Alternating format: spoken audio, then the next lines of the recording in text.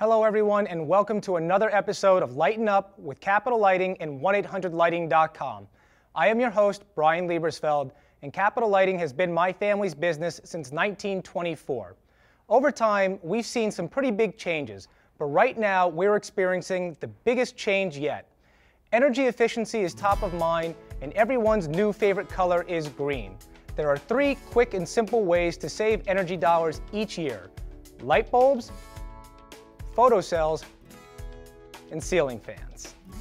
Start saving energy by switching out your incandescent bulbs for compact fluorescents like these. For every medium and candelabra-based incandescent, there's a compatible compact fluorescent available for you to purchase so you can start conserving today.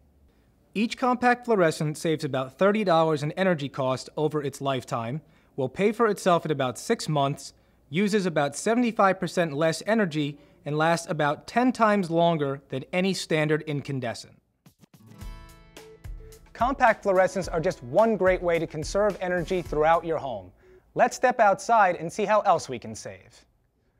A simple way to save on energy is to make sure that your outdoor lights are only in use when absolutely necessary.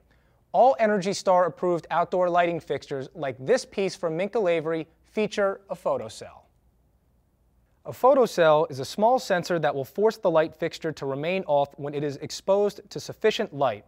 At sundown, the photocell is inactive and the light turns on.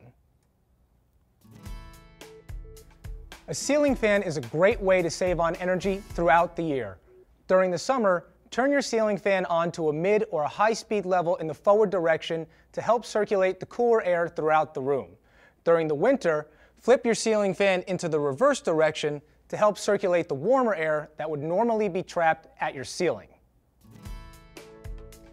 Like what you've heard today, you can view thousands of energy efficient lighting fixtures online anytime at 1-800-Lighting.com or stop by any one of our Capitol Lighting showrooms in New Jersey or Southeastern Florida. And remember, tell them Brian sent you.